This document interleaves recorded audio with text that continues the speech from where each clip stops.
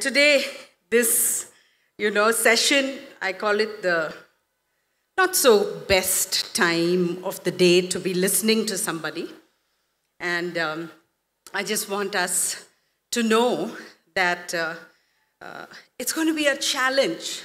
You know, the theme given to me was triumphant over life's challenges. Your first one is to keep yourself awake this afternoon. That's your first challenge this afternoon.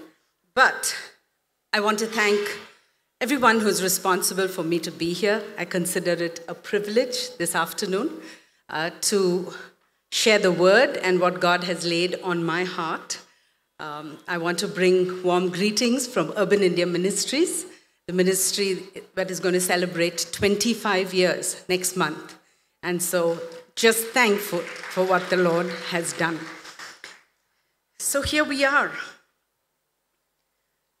fighting from a place of resting in God. Wow, that's a whole lot bundled together in a phrase. We're all sitting so comfortably.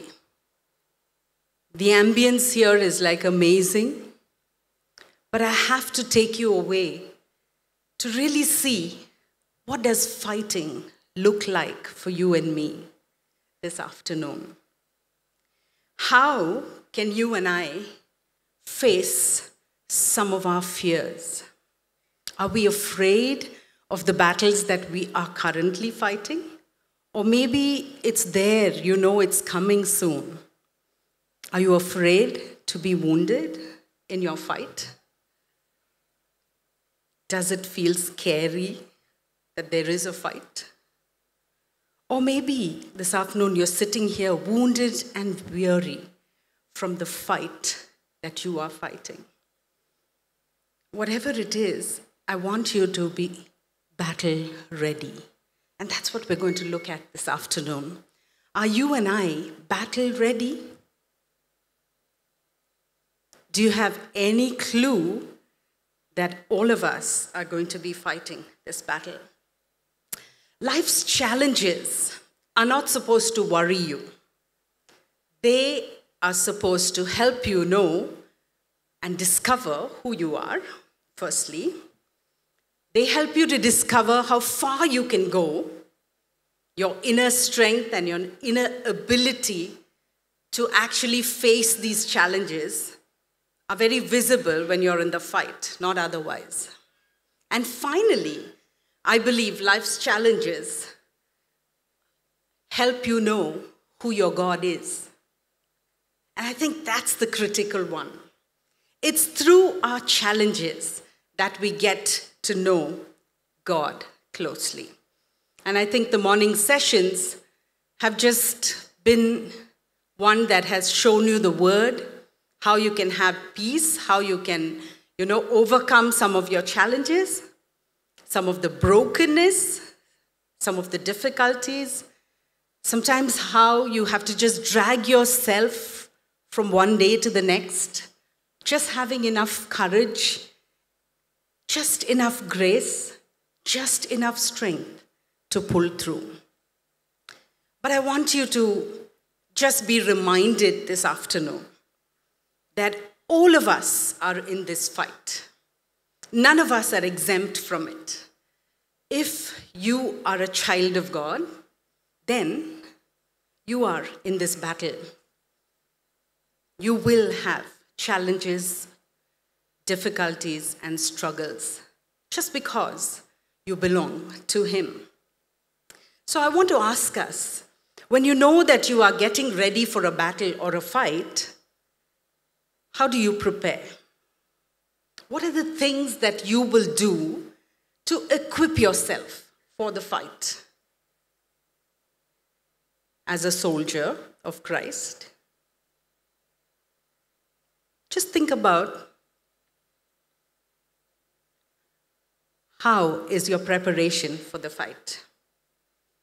You know, and beautifully the scripture talks about that in John 16 33 that in this world you will have struggles, but I have overcome the world. And because of that, there is hope. And I want us to focus in terms of the preparation on a chapter from Ephesians chapter 6. Ephesians 6, verse 10 following, talks about the armor of God, isn't it? And I'm sure you've had you've heard endless messages about the armor of God, what it does. But if your armor is not ready, then you're not ready for the fight.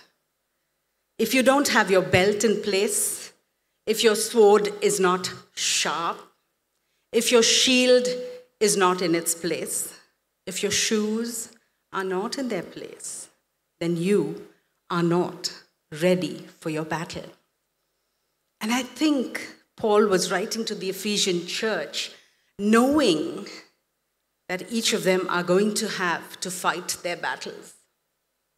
How I wish that just because Jesus has done the finished work on the cross, that these battles were taken away from us, isn't it? Many of us wish ourselves away from the battle. We just wish, oh, it does, it shouldn't exist, or the battle should not come, or we even pray that way. We say, Lord, I don't have the courage, I don't have the strength, I don't have it in me to fight this battle, Lord. So let it just go away, let it just disappear. But the scripture tells me battles don't just disappear, they're there. And you and I need to prepare to fight for the battle. So be equipped. Be equipped because each one of us are definitely going to be fighting this battle. What do you what other thing that you should know when you think of a battle is that you need to know your enemy. Because the scripture in verse 12 of Ephesians 6 says, For you do not fight against flesh and blood, but against principalities and powers of this dark world. Know your enemy. He is the father of lies, he's cunning, deceptive. Sometimes you don't even know where he's going to show up from. And if that's the kind of enemy you have, how much more should you strategize to fight your battle? So know your enemy. Know your weapon. 2 Corinthians chapter 10 verse 4, and I want to read that for you. You know, know your weapon. What are you fighting with? If you don't know that, pretty soon you'll be defeated. Because if you are going to focus on what you think is the weapon that you have to fight your battle, it just might not be enough. And 2 Corinthians 10, and I want to read this verse, it says, The weapons we fight with are not the weapons of the world. On the contrary, they have divine power to demolish strongholds. So your weapons are different. Your weapons are not the weapons that the world will fight their battles with. And that's why you and I have a very different way that we will fight our battles. So know your enemy, know your weapon. And Romans 8:38 says, nothing nothing that the enemy will do can ever separate you from God. So you know what the end result of your battle is already. Nothing can separate you from the love of God. Ephesians 1 15 to 21, and I want to read that for us. It says, For this reason, ever since I heard about your faith in the Lord Jesus, and your love for all God's people, I have not stopped giving thanks for you, remembering you in my prayers. I keep asking that the God of our Lord Jesus Christ, the glorious Father, may give you the spirit of wisdom and revelation so that you may know him better. Be enlightened you know, in the order that you may know the hope to which He has called you. Do you know what your battle will do? your battle will help you know your God better. Always remember that He who created everything, even the principalities and powers of this dark world, it was in Him that everything was created. He has got this in His control. Know your God. If you choose to spend time to prepare for your battle, you need to spend time to know who's going to help you through this battle. You know, none of us probably would go into the battlefield wearing our jeans and our t shirts. Would any of us do that? We wouldn't. We wouldn't dare do that. We have to put on the armor. And as it says, you know, in Ephesians 6, therefore take up the whole armor of God, and you will be able to quench all the fiery darts of the wicked one. That is an amazing promise for you and me to hold on to. If you want to win your battles, or actually, there's, he's already won it for us. But if you want to win that daily struggle of thinking that when is this going to end? When is this difficulty going to change? When are my problems going to stop? You know, Jesus' words should encourage you to say that in this world, you will have troubles and challenges of many kinds. He did not say that we are going to be exempt from it. He did not say that, you know, we can do without it. We can somehow just fly away and overcome these things. No, that's not what he said. And that's not what he did, right? He was willing to stick his neck out and actually fight for you and me. So I want you, my friends, to recognize that the battle is real. This is not an imaginary battle, this is real. I want to take you to Exodus chapter 14, where, you know, the people of Israel are fleeing from Egypt. And we have this scene where, you know, they are faced with these mighty waters before them, and the Egyptian army is right behind them. And Moses, their leader, is encouraging them. He's saying, Do not fear. Do not fear. Moses affirms to the people in Exodus 14 13, he says, Do not fear because God is going to fight for you. Do you have that assurance? They did not, because it's interesting in that passage, you know, as I was reading that, Moses knew that God had the capacity you know, to fight this battle. He knew he was going to do it. He was sure of that. He was encouraging the people to believe that. But here they are experiencing the waters right in front of them and the Egyptian army behind them. As you go through the battle, sometimes it looks like God is not hearing me. God is not helping me face this correctly. Look at this impossible situation the waters in front and the enemy behind me, pursuing me. But just at that time, you know what happened. They experienced God's hand just as He had promised. And it's not just that they experienced God's hand, you know, they walked through that dry ground, but the enemies saw it and they started fleeing, saying that the Lord is fighting this battle for them. Remember? Your enemy knows very well that he's already defeated. But he will do everything he can to distract you in the battle so that he can make you a casualty. Unless you and I know the promises of God and we cling on to them for dear life, we will not make it through. So, here, these people of Israel experiencing God's hand in this battle which is massive, huge. And then verse 25 of Exodus 14 says, Then they feared the Lord and put their trust in him. Sometimes you and I need a battle to really trust God. It's very easy to sit in this beautiful hall and to say and sing that I trust God. Easy. Out there in your battlefield, probably it's your home, I don't know. Maybe it's a difficult relationship. Maybe it's your children. Maybe it's your family. Maybe it's your workplace. I don't know where your battlefield is. But out there in your battlefield, can you put your trust in God and say that He will fight this battle for me? I think that's what battles teach us that they have a process through which you have to go. And that's why it doesn't seem to end, right? In our battles, if we don't learn our lessons early,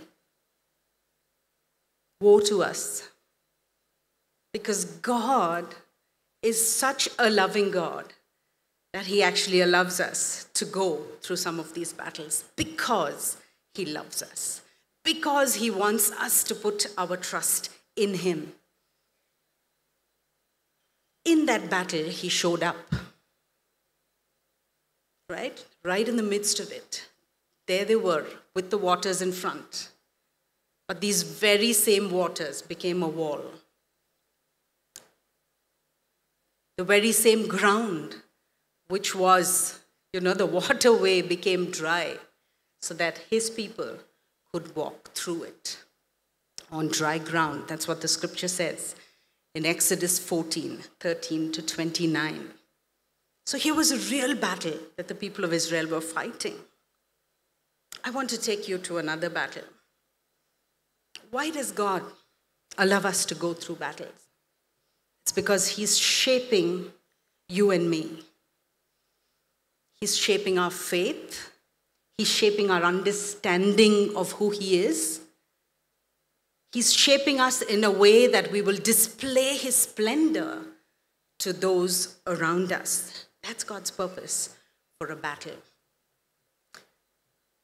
And the theme this afternoon was battling or fighting from a place of resting in God. And if you and I know what resting in God means from Scripture, the many verses of Scripture that I read, I came up with these three things about resting in God. The first one is that God invites us to rest in Him. So, in the thick of your battle, you know, Pastor Arlene was talking about that peaceful picture, isn't it? I want to tell you another secret today. You know, when there's a severe storm, it's really bad. There is one place that is absolutely peaceful. Does anybody know which place that is? Yes? The eye of the storm. Thank you. The eye of the storm is the most peaceful place to be in. And so God is inviting you and me. You may be in a very stormy place this afternoon, but God is inviting you to the eye of the storm where He is. And that's a peaceful place for you and me, even when there is a storm. And then He instructs us to rest in Him. God instructs us. God says, I want you to come and rest in me. That is an instruction that we see in the scriptures, where there's an invitation, and then when you're in a relationship with Him, He's instructing, He's commanding you, He's telling you, Come and rest in me. Why should we rest in God? Because He did it before we can do it, right? When He created the world, in Genesis, we read that God rested from all of his labor. God knows that we have the potential and the capacity to keep working night and day, endless, seven days a week. We can keep doing this. And so he's telling us, I created you also to rest, recoup, and rejuvenate so that you'll be ready to face your next battle. How encouraging. Every day, sometimes we're fighting battles. But can you and I fight our battles from our resting place in God? Is that a possibility? Maybe some of us have. And some of us have experienced what it means to rest in God while being in the midst of a storm, while being in the midst of our battle, just trusting Him, knowing that He'll see me through, because that's what He did for me earlier. My experience of being in God should be what helps me to go forward and to find that beautiful resting place in Him. This afternoon, He's inviting you. Are you weary? Tired of the battle you're fighting? Just dragging yourself through? He says, Come, come to me, all who are weary and burdened, and I will give you rest. I will give you rest, he says. Matthew 11, 28. What a beautiful promise. That God is saying, You're dragging your heavy burden this afternoon, give it to me. Come, give it to me. I will take it, and I will give you my rest. And so you and I are called this afternoon to fight in a way that we are so sure that we are in God and that our victory is sure. That's why it's more easier when you know your enemy, when you know the weapon with which you're fighting, and when you know your God, you can make it through your fight. And I want to draw your attention this afternoon to a very familiar person in the scriptures Hannah from 1 Samuel chapter 1, verses 1.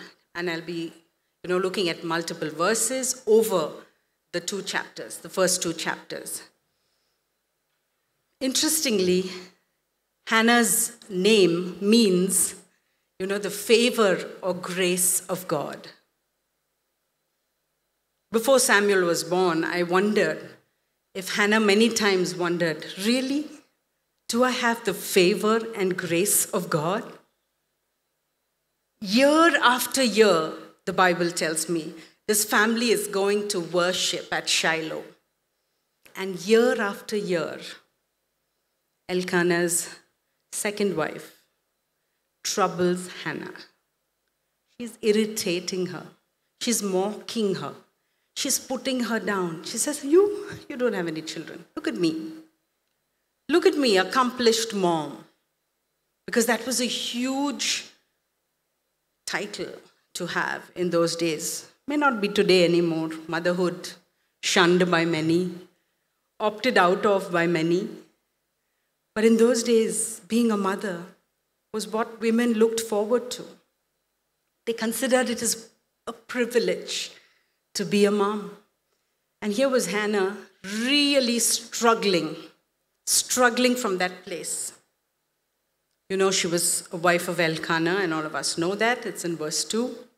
She was part of this family that, you know, where worship was part of their lives because it's repeatedly said that they went year after year to worship.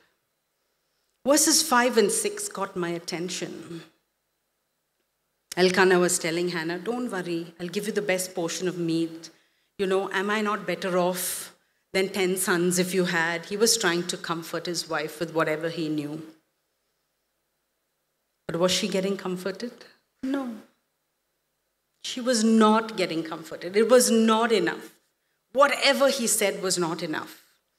And we see that God had closed her womb. And it doesn't say it once, it says it twice. Verses 5 and 6 says, The Lord had closed her womb and then verse 6 says, Because the Lord had closed her womb. And those two, you know, phrases caught my attention.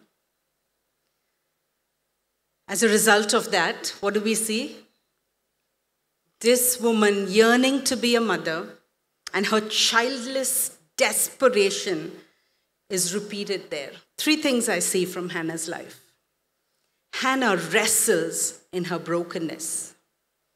You know, till that verse about where they go to the temple and they're offering their sacrifice, and Penina is really irritating her with her mockery and putting her down very intentionally, we see that Hannah was wrestling in her brokenness. You know, wrestling with the stigma of being childless that carried a huge stigma. The pain of being childless. And in 1 Samuel 1, verse 8, it gives us a perspective of what she was yearning for. She was yearning to have a child. And in this brokenness, we see Hannah just wrestling. She's just wallowing in it. And remember, the Bible says year after year, this was happening. This was not one particular year, year after year. And so every year, when they have to go up to the temple at Shiloh, this was happening. So every year was a traumatic experience for Hannah in that broken place, and probably the continuous reminder through the year that she was childless. And so I want you to ask yourself what is your brokenness? Are you aware of it? Are you willing to acknowledge what it was? For Hannah, it was her childlessness. But I want you to look at your own life. What are those broken places? Acknowledge it. Be aware of those broken places. And that's what really will help you even as we go forward, you will understand. So here we are, Hannah wrestling in her brokenness. The second aspect that I want to talk about is that Hannah finally decides to take this brokenness to God. And she goes into the temple, weeping, wailing, pouring out her heart to God. And the Bible says in verse 10 of 1 Samuel 1 weeping bitterly, in deep anguish, she decides to take this brokenness to God. You know, sometimes we keep our brokenness locked up, closed in. We're so scared to even open it up because we're afraid of what we are going to experience in that broken place. Unlike the battle of the people of Israel, which was a very physical battle, I think Hannah's battle was emotional, mental. It was a different level of a battle. She was finally willing to say, Okay, Lord, I'm going to open it. I'm not going to keep it closed up. I'm going to let it out. I'm going to let other people see what I'm feeling from this broken place. And so she pours out her heart to the Lord, praying in great anguish and deep grief. And Eli thinks that she's drunk. And he says some words to her. And then she expresses what she is there for. She says, Please don't misunderstand me, my Lord. I'm here because I'm praying for a child. When you decide to take your brokenness on your knees, that's a different way to fight your battle. But that's the right way. And that's the right place to bring your brokenness. Maybe you can share it with a friend, your husband, you know, maybe in your ladies group, in your care cell group, you can share your brokenness. That's okay. Your therapist. But when you bring your brokenness to the right place, and that was in prayer, just like Hannah did. You know, the Bible tells us in Isaiah 35 and verse 3 strengthen the feeble hands and steady the knees that give way. You know where we fail often? It's in our prayer life. Your prayer life is not visible to everybody. You can fool the pastors, you can fool the care cell leaders that you are a spiritual person, but it's your prayer life that will determine whether you will win your battles. That's where you win, actually. Therefore, Hebrews 12 and verse 12 says, strengthen your feeble arms and your weak knees. I think, as a body of Christ, this is the place to take our pain. I don't think there's a single person listening to me online or here who has not experienced emotional and mental pain. Something that we would have gone through. We lock it up, we cover it up. They look at us, and behind that beautiful smile lies some of the most painful stories of our lives. And so let me invite you this afternoon to come to the right place with your brokenness. In prayer to the Lord, there's no greater place that you and I can have than at the cross to give our brokenness. And finally, I see Hannah wrestling. Her wrestling leads to her blessing, isn't it? There she is in verse 18. Till then, she was refusing to eat. Her husband was saying, Why are you like this? Please eat something. You know, probably he's telling her, Sleep, you know, get some rest, don't cry, please don't weep. He's trying to comfort his wife.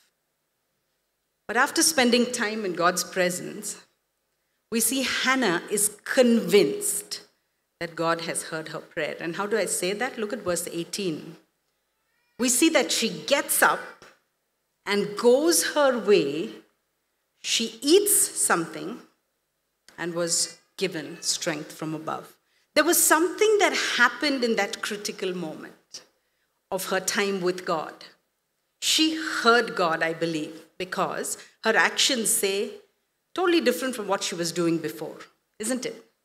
She was wallowing, weeping, crying, doing all kinds of things to express her pain and her hurt. And here we see her get up, eat something, you know, and the, her face was no longer downcast, is what the scripture says in verse 18 of 1 Samuel chapter 1. There was a clear distinction of the Hannah before this and what happened to her in her time with God in prayer. Very clear. And then it says she went and rested as a result of what she had just experienced with God. Probably she heard a voice, I don't know.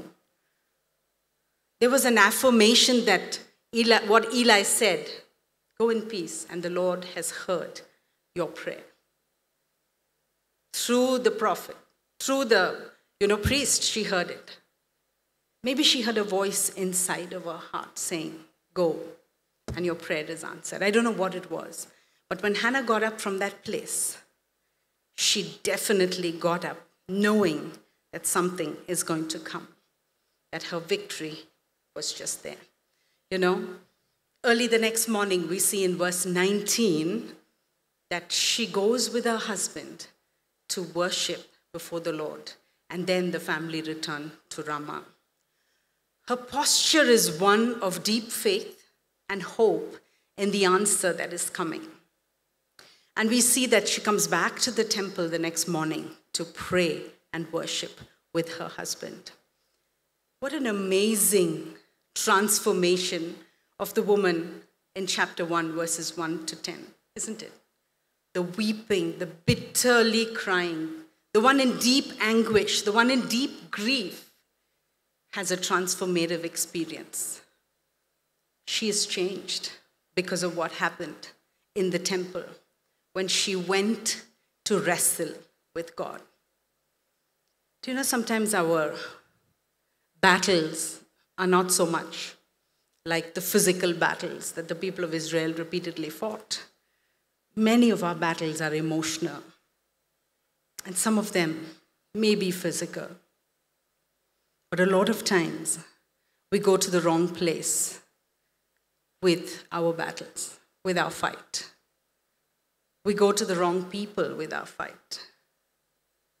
If only you and I have the ability to wrestle with God, to go into His presence, and to really expose our very inner being to Him and show Him who we really are. Unlock those places of brokenness before Him and open it out to Him so that He can see it. Not that He doesn't know that it's there, it's just that He waits for us to take it to Him. He doesn't just make it disappear. Oh, how I wish He would do that. Just disappear, Lord. My pain, just take it away, Lord.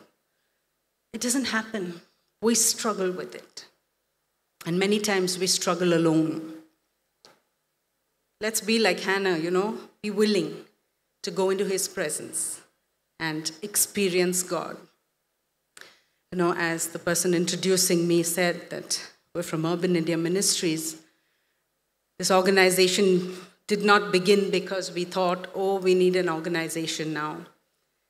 It started almost 25 years ago with just a group of friends who just saw crumbling marriages around us, who felt that our own marriages were really not good enough. What is going on? Why is it that Christian families are falling apart? And we decided that we're going to do something about it, at least to our own group of friends. And so we gathered together for a conference, invited a speaker, and said, just talk to us on family. And how do we live out our Christian faith in our homes? Because so often our faith stays limited to the context of the church. Many of us don't know how our faith can be translated into our families. How does faith get translated in your role as a mother, as a father, as a husband, as a wife? Is there something about that translation? I think you and I have to explore that because God never wanted us to just live out our faith on Sundays. He wanted it to be practiced on a day to day basis within the context of our homes. And so here was this group of friends just struggling with what do we do? This is an ocean of struggles. My own friend was going through a divorce at that time. And I said, What can I do to help? I felt so helpless so helpless. And that's when we started thinking of why do we wait for families to break up? Let's start investing in families from the beginning.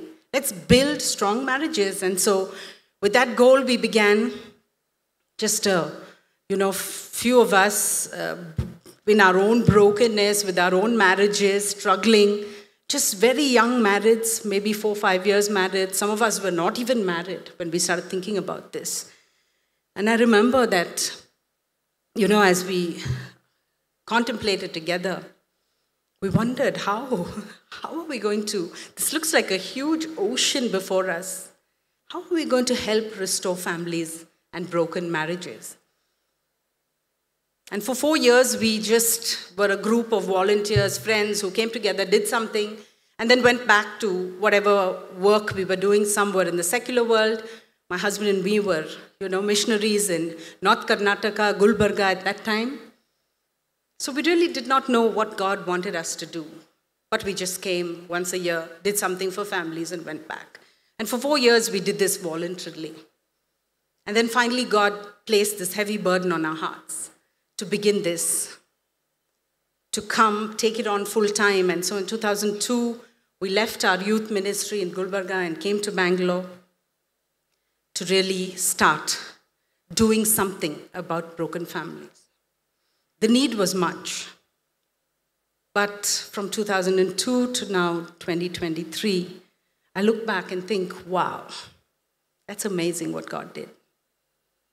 But I want to share one story. I have many stories to share, but I want to share one story from this journey.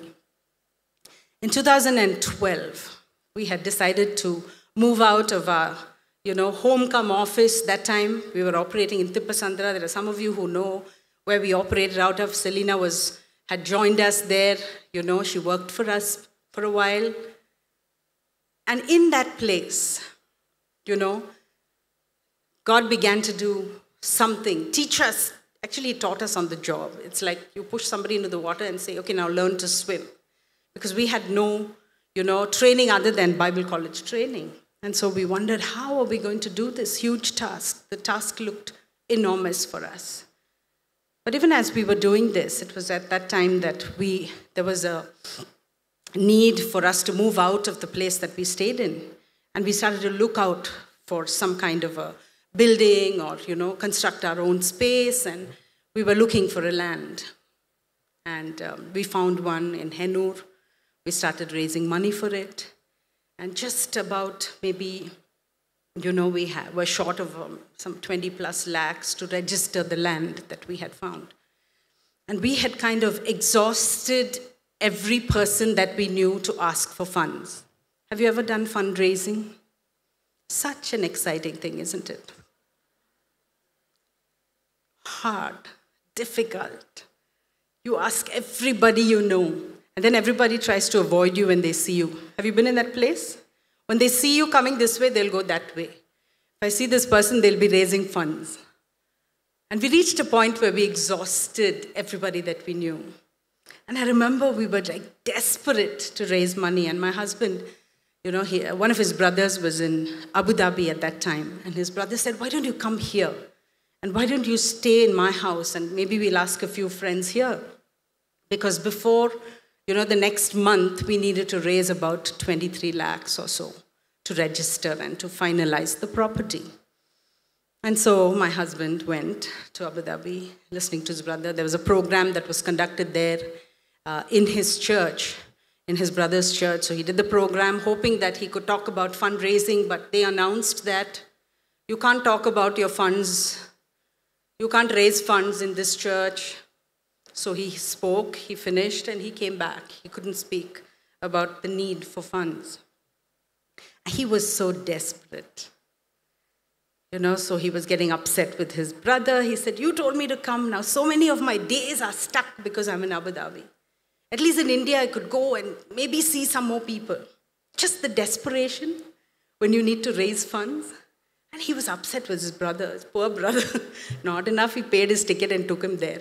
But anyway, you know, he just decided to close the door and go on his knees. And he said, Lord, I don't like to do this. You know, this is so like demeaning. And he said,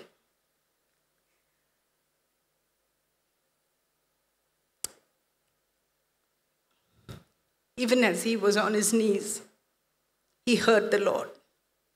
And this is what the Lord told him. The Lord told him, This building is not for you. So when you ask people, don't say, UIM needs a building. You say, The Master needs it. So he was like taken aback. Was it a voice? Was it an inner voice? He's still not sure. But he knows he heard the Lord. And he said, that moment, it was like the moment Hannah had. That experience in the temple, where the Lord said, I will do this. Why are you worried? Why are you fretting and worrying about this money? I will do it for you.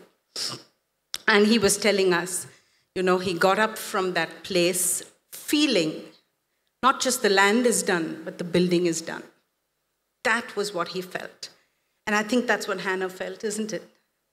She got up from that place. Was she pregnant? No. Could she see anything about being pregnant? No, not at all. But she knew in her heart that God had heard her. And that's what happened, even for us, where we knew that God had heard that prayer. And in the next one month, miraculously, the money came. And I wish I had the whole afternoon to tell you the stories of God's provision. But He did it. Not just the building, uh, not just the land, the building as well. You know, when we started constructing this building, we used to really worry how will we pay this contractor, we to pay these guys. But God taught us something. You know, when the bill would come, no, the money will come. From where we don't know many times. Maybe we had sown the seeds asking people for funds and it is gone, gone, gone. But when the bill came, only the money would come. And every month we were able to see so much of money coming in. My husband was like, wow, if money is going to come in like this, then we can pay all our staff really good salaries and, you know, we can do all of these things. Does God want us to live out of our plenty? Or does He want us to always go back to Him? He wants us to always go back to Him. When we finished building our building, money stopped coming. Stopped. Go back to your knees, my children. Seek me, and you will get. So, what I'm saying is, do you have that encounter with God where you hear Him so clearly that you get up from your place knowing this task is finished, this battle is won, knowing that I will be able to face whatever challenges that are on my way. I don't know about you. Do you have experiences of God like that? Isn't that beautiful? To be on your knees and to hear God, to say, This, I've got it in my control. You just keep plowing.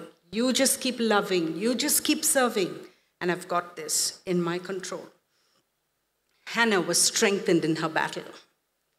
You know, sometimes we, we struggle because we don't have the energy. We're so wounded and weary and tired from the same battle. But here was Hannah when she's writing her prayer in chapter 2 of 1 uh, Samuel. She says, It is not by strength that one prevails. The Most High will thunder from heaven. The Lord will judge the ends of the earth, and he will give strength to his king and exalt the horn of his anointed. Do you feel that you don't have strength to fight your battle? Do you feel exhausted this afternoon, whatever your battles are? Don't worry. He promises that He will strengthen you. He's the one who you have to look to, and the strength that you need will come from the Lord. One of the biggest challenges we face when we have, you know, to fight our battles is that fear grips us, isn't it? We have so many fears. How, Lord, am I going to do it? How am I going to talk to somebody? How am I going to argue my case? How am I going to present this differently so that I will be understood? So often, our fears literally eat up our faith.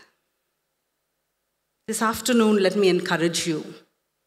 Let your faith grow so big that it'll eat away all your fears. That you will have so much faith to be able to endure the battles that God has set before you.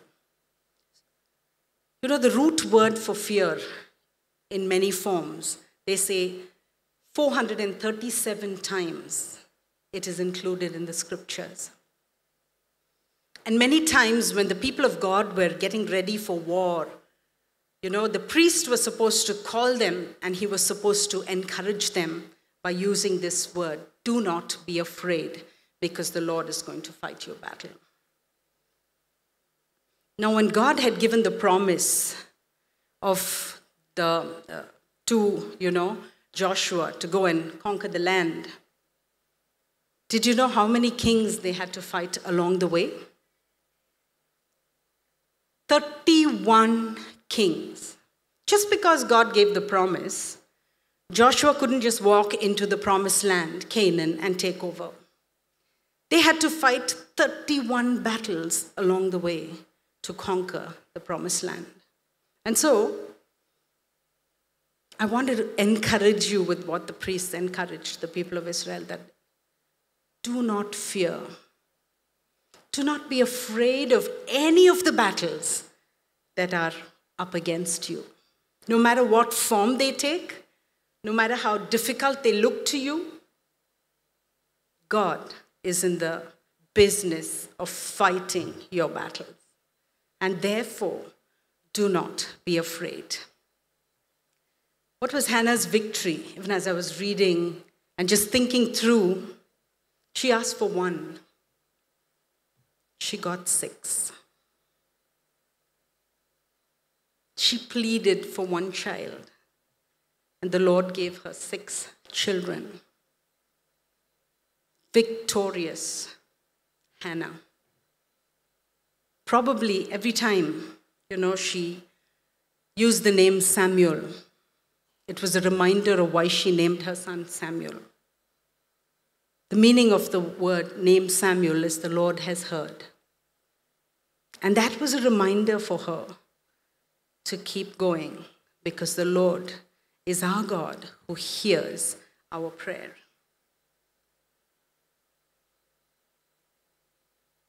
Just want to pause. Maybe in your scribble pads, I want you to just reflect. Write down one or two battles that you are right now facing emotional, physical. Maybe it's a sickness. Maybe it's a challenging job that you have. Maybe it's a target that you have to accomplish. Whatever it is, just put it down there. I'll give you a couple of minutes before we go into our activity. I don't know. I asked Selena if she can put out some papers and some sketch pens. I don't know if you already have it on your desks. For those of you who are online, may I request you to find an A4 size paper, get some sketch pens or color pens or whatever you can find in your house.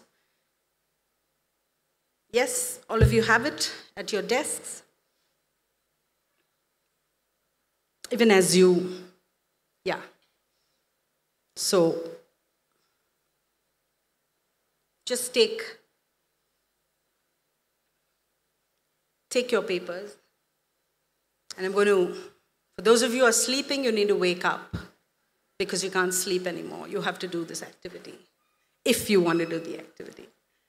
Okay so take out your own paper. Please sit nicely comfortably around your table so that you can use both your hands. Adjust, shuffle, do whatever. Make sure there's a book under your, or a, your writing pad is under the piece of paper. Or you can use your writing pad, if that's fine.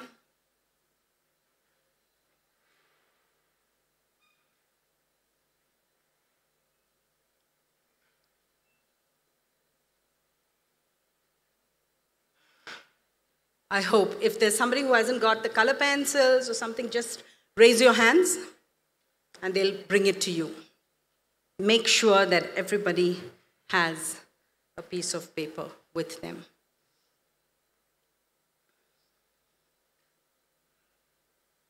If you are sitting only as one or two at a table, I request you to join another table for this activity, please. Even three people, could you please just join another table? Turn your chairs around and just join another table. For the next few minutes, we're going to be doing an activity. So please, at least have five, six, or four, five at least at a table. So please go, shuffle, find another table, and join another table. Thank you.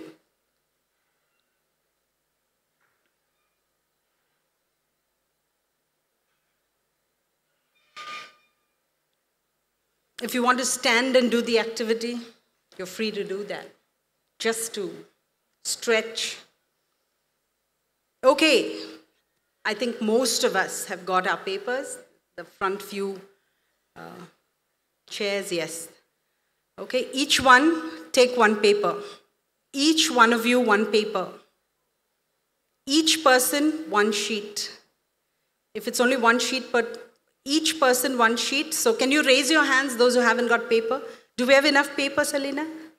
Yes? No. You, do you have enough? Otherwise, okay, otherwise just use your writing pads. Those of you who don't have, I wanted you to take this home, but just use your writing pads, no problem. Okay? Now, we're going to do something called a scribble activity. Those of you online, I hope you're ready with your pens and your papers. Now, all of you, close your eyes. Put two pens in two hands. You need two pens, not one, or two uh, sketch pens, whatever you have. Make sure that it's on the paper before you close your eyes so that you don't be scribbling on the tablecloth. Okay? Put both the pens on the sheet of paper and close your eyes and just scribble. Enjoy yourself. Just scribble. Okay? Go ahead, close your eyes, put both the pens on the paper, and just scribble. Those of you online, go ahead. Close your eyes. That would help. Make sure you don't go off the paper, but Yes, scribble. Scribble, scribble, scribble. Till I count 10. One, two, three, four, five, six, seven, eight, nine, ten. Thank you. Now open your eyes and look at the scribble that you have made. If this was your mess, or if this mess was to depict your brokenness, your battle, or your pain, what would you title the image that is in front of you?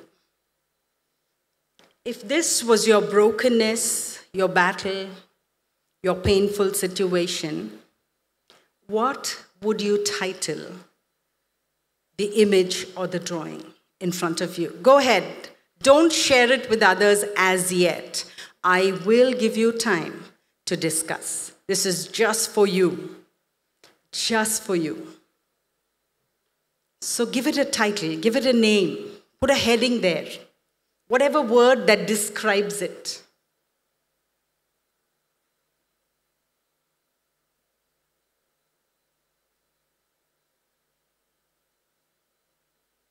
You want more than a word? Go ahead. More than a word, a phrase. How would you describe that mess?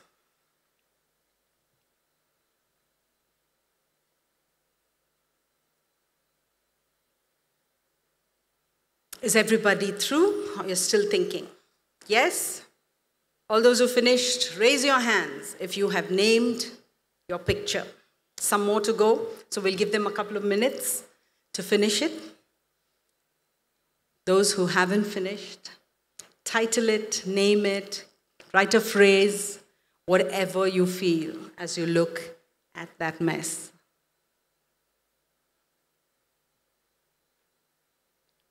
Now you have some colors on your table. I want you to take the colors and I want you to make a meaningful picture of that mess. Did you understand? Yeah? Look at it. Add some wings, make it a butterfly, or do something to that and make it look beautiful. Add colors to your mess and make it look beautiful. Use the colors, sketches. If you need more, we can ask them to bring some more. Or maybe there are tables which people are not sitting at, you can grab some from there. Take a few minutes to make your picture meaningful.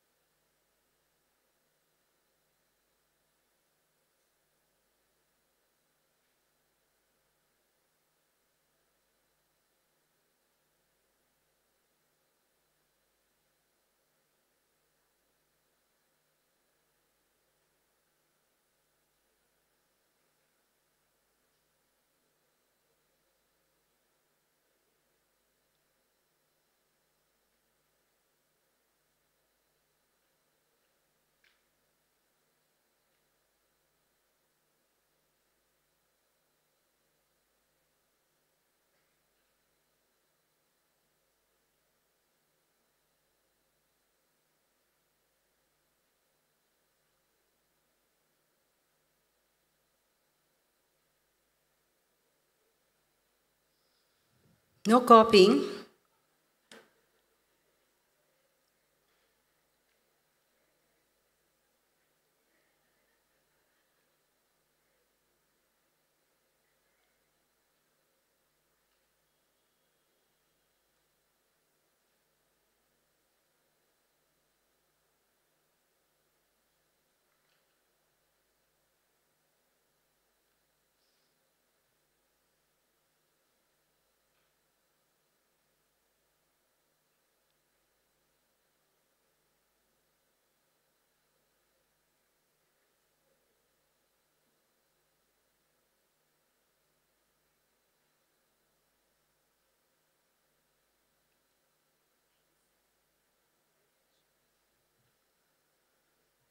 Okay, I see some of you have finished, but we'll give others who are very creatively designing their picture some more time.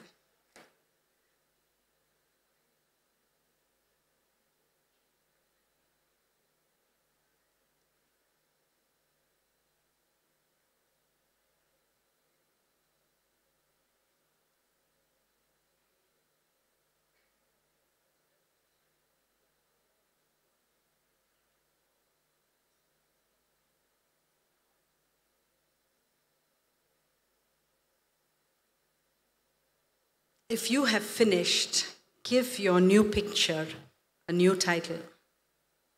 And what would that be?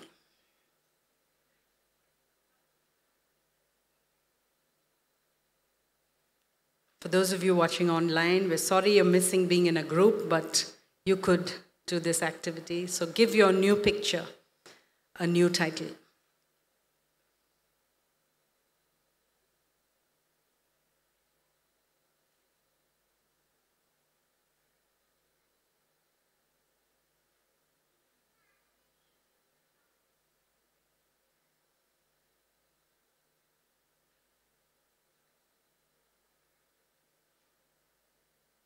If all of you at a table have finished, then I want you to write a poem from whatever is emerging from the themes of all of your pictures at the table. Discuss.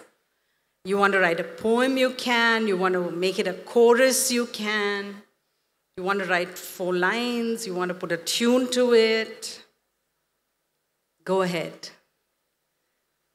I'll give you 20 minutes to do that.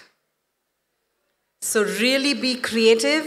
Women, I know that you are creative. So, come on, go ahead. Discuss what came out of your picture.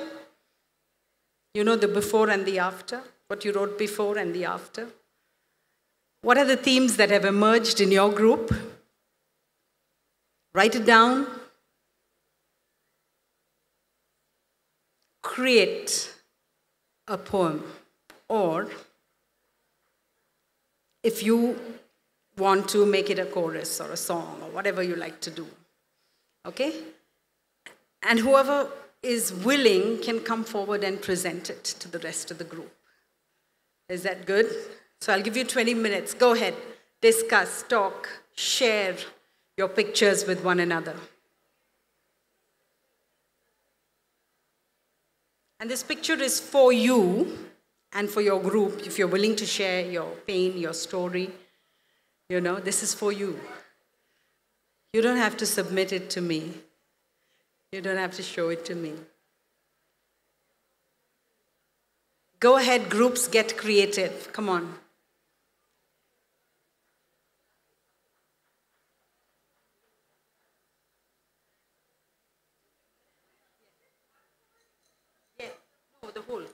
Yeah, it's a poem for each table or a song for each table, not for each person. So discuss together and maybe make four lines of a chorus or four lines of a poem or put together something. Come on, get your creative juices. You had like a wonderful khana given for you. Get going.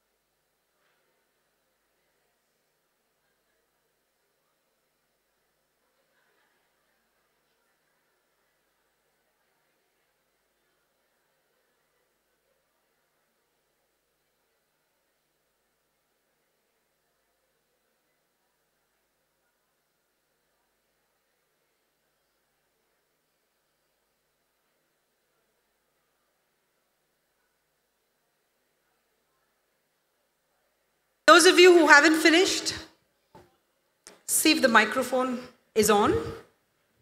Okay, he's brought another one. Thank you. Thank you. Go ahead. Can you tell us Okay, your name? Uh, Agnes. Go ahead, Agnes. Now we have uh, uh, some very interesting pictures drawn here. I won't be able to show, but I'll tell what it is. Um, some hurricanes, and then uh, flower was drawn. So the title was "The Calm in My Hurricane." the calm in the hurricane. Yeah. Wow.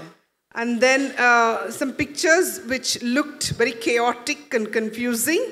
And they made it as a shield and said, Understandable Chaos and My Shield was the title. Thank you.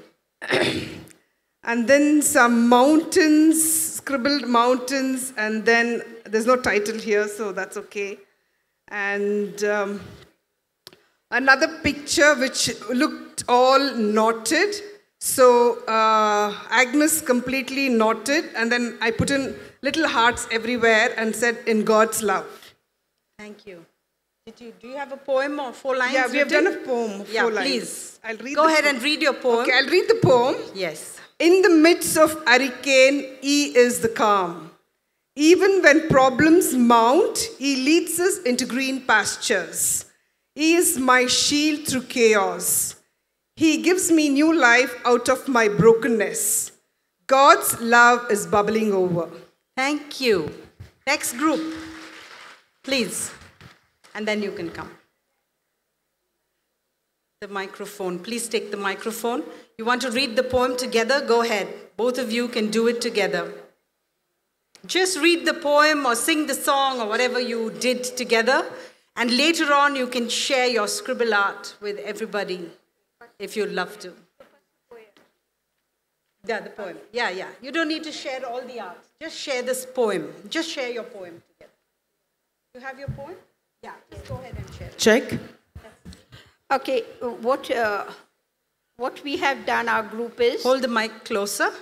Yeah.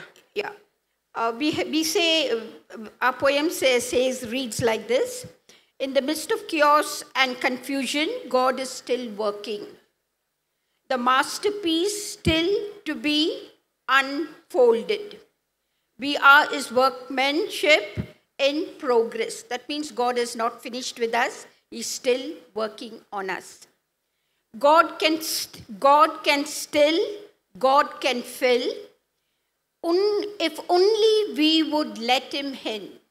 So God can only fill us, and if we can, if we are still, and if we let Him in. The other line is He makes everything beautiful in His time. If He at it won't, He won't, He won't give up. He makes everything beautiful in His time and He doesn't give up on us. I mean, you. we give up on Him many times, but He doesn't give up. He's still mindful of us and He's still working on us and He's still shielding us and covering us and protecting us. Thank you. Thank you for that. Go. Let's not waste time.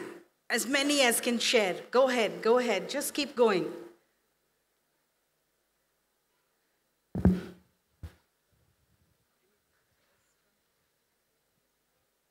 broken to victory. Broken to victory. Yeah. Helplessness, later it was blessed. Uh, the song has come in my mind. It's a Hindi song. Please. Uh, किसने था सोचा कि ऐसी दया मिलेगी हमको भरपूरी से युगों का राजा, महिमा को छोड़कर अपनाया मेरे शर्म और गुना। क्रूस से मैंने पाई है माफ़ी, मैं हो गया उस राजा का। सुंदर मसीहा, अब मैं हूँ तेरा यीशु मसीह तू है आशा मेरी। हालेलूया प्रभु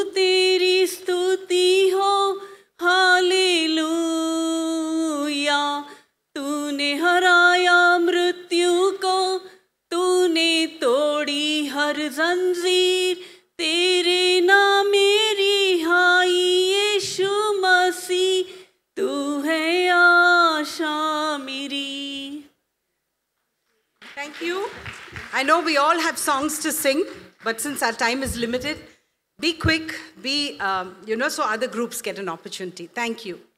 Go ahead. Messy lines, messy lines, full of confusion.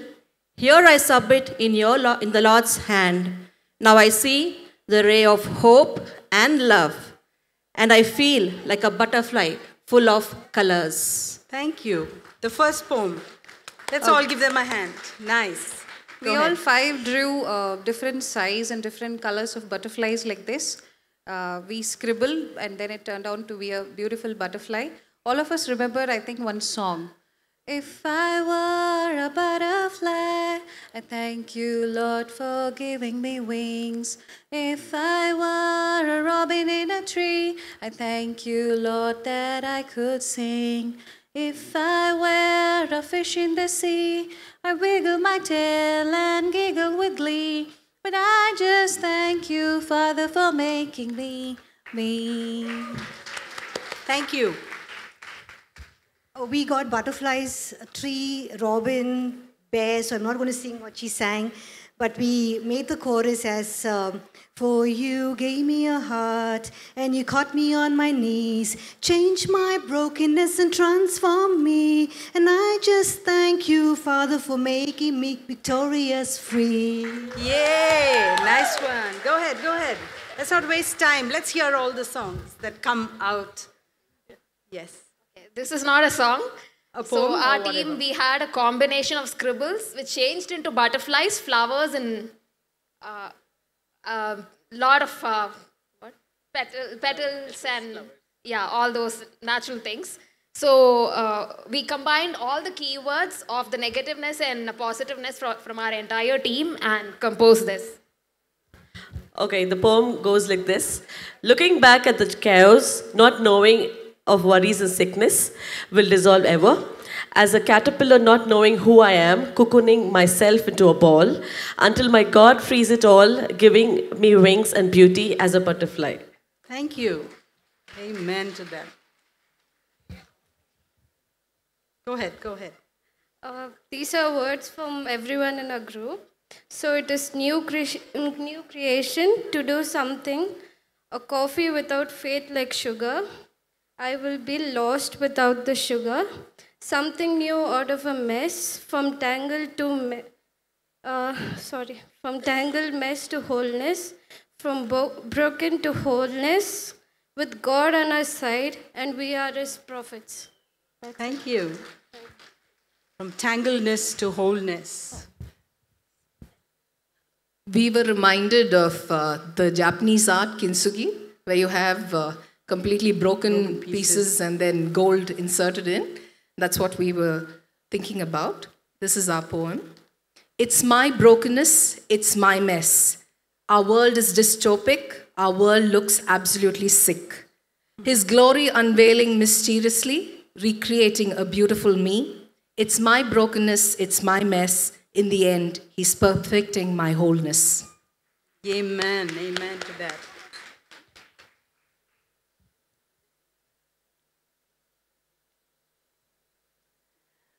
So Sheba made these um, uh, two, these her circles as uh, fruit producing trees with uh, roots deeply rooted.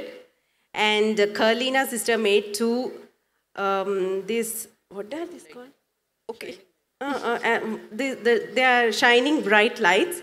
And um, Sarita made, uh, created a girl broken her chains and freedom, freedom in a mess.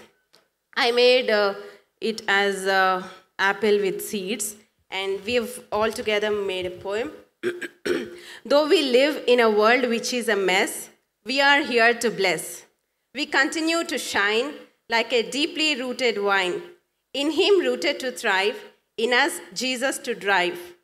Freedom in a mess to only become beautiful and the best. Thank you.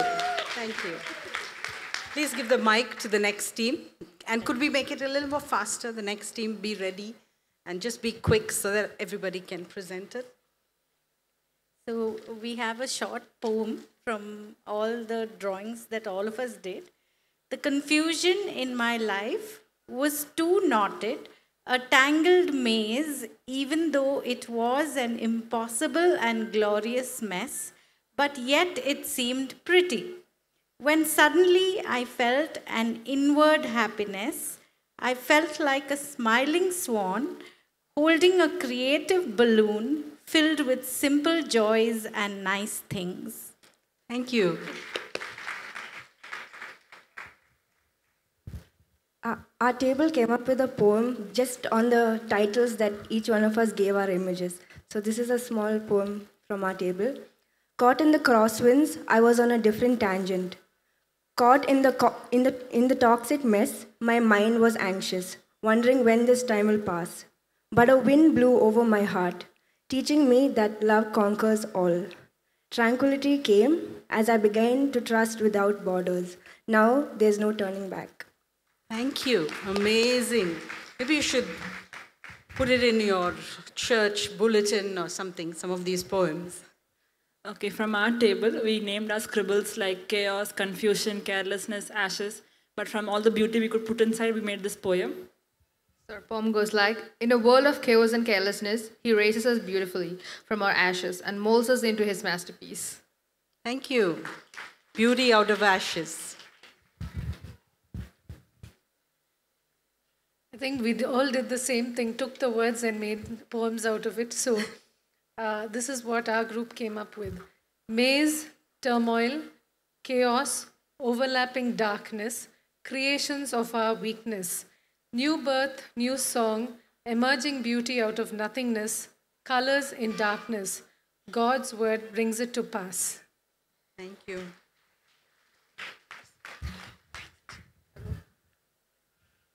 Yeah, so the, the first picture, um, we titled it Scatterbrain.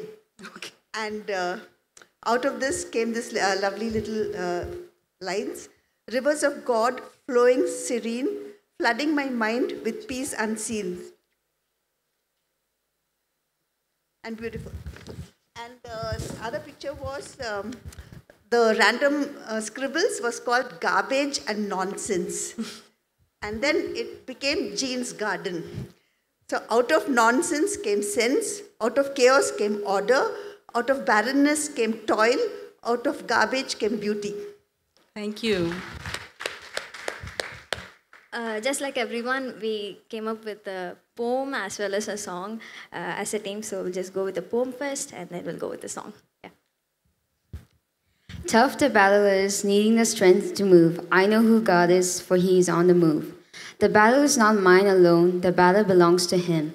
And my light won't grow dim, for victory belongs to him alone. So, uh, song and tune, everything came in five minutes. So, I hope you still enjoy it. So, when the battle was tough, everything was a mess. We just stood with each other to become victorious. Oh, we built the ground, we dressed up, we fixed our eyes on the Creator. Oh, that's how we got our peace, our friends of peace. Thank you. Thank you. You need the young people to be creative. Thank you. Thank you for that song.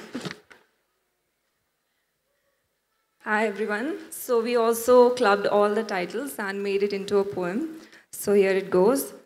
Once lost and suppressed, a veil separating your world and mine, sobbing in the ugly depths of this valley of shadow of death and cries.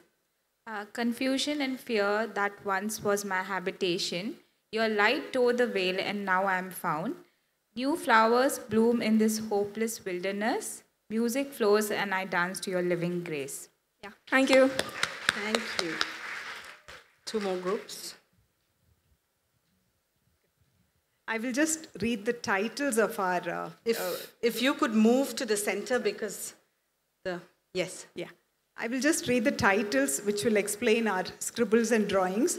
Uh, one is ent- unt- Untangled becomes a woven tapestry, Tangled becomes a vibrant mosaic, Confusion and Chaos becomes a garden with butterflies, and uh, an entangled uh, scribble becomes harmony.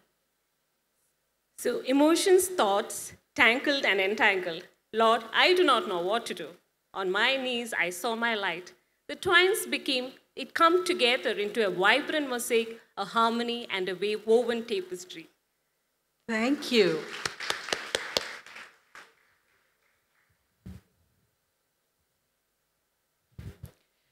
So we started scribbling like any other, and these are the pictures that we came up with a beautiful woman, a fish, and a butterfly, flowers, and all of that. And uh, from that, what we made was when I lost myself in the scribbles of life, knelt down in faith, kicking off the fears, and was able to see through the spring of flowers, having wings of butterfly, and strength to swim like a fish in the ocean of scribbles and glow for him.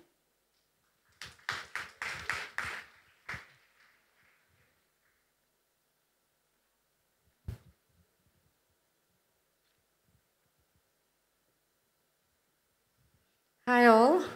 So we also came up with a poem and we got different scribbles. So one was a tortoise.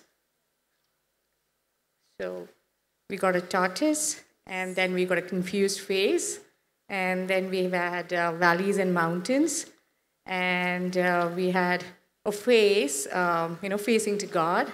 And then finally we had hearts of seasons like, uh, you know, this.